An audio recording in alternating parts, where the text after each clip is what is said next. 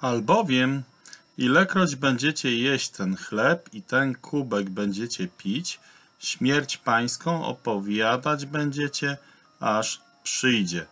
Pierwszy list do Koryntian 11:26. Posłuszni, aż on przyjdzie. Dobrze jest przypomnieć sobie, jakie jest znaczenie tej wieczerzy i co robimy, gdy bierzemy w niej udział. Kolejną niedzielę znowu łamaliśmy chleb i piliśmy z kubka. Co to znaczy? Ogłosiliśmy i pokazaliśmy śmierć Pana i to będzie trwało, aż On przyjdzie. Śmierć jest czymś strasznym i człowiek nie lubi o niej myśleć. Śmierć to król strachów dla człowieka. Jest to zapłata za grzech. Koniec wszelkiej dumy życia. Koniec ciała jako upadłego.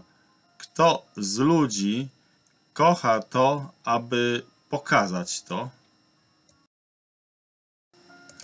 Ta pokazywana podczas łamania chleba śmierć jest śmiercią Pana, śmiercią księcia życia.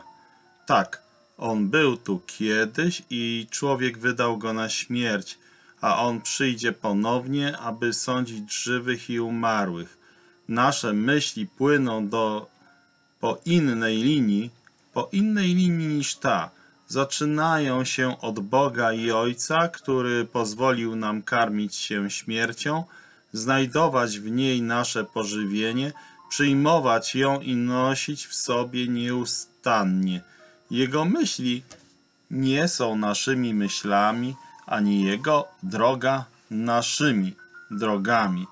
Człowiek zbuntował się. Bóg wysłał swego Syna na ruinę. To była okoliczność, w jakiej mógł uwielbić Boga i Ojca. On przyszedł od Ojca jako dar Boga, aby złożyć swoje życie. Nigdy cudowność Jego osoby jako Syna Bożego i Syna Człowieczego nie świeciła w swej chwale bardziej szlachetnie. Jako Syn Boży On był w stanie spełnić rady swego Ojca i zrealizować plany swego Ojca.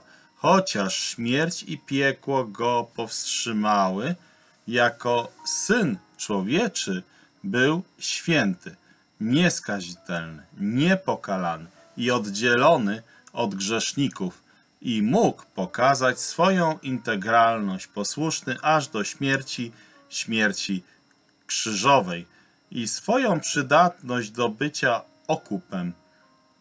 Jakże zachwycająca, wielka cudowność ujawniła się w tej jego śmierci.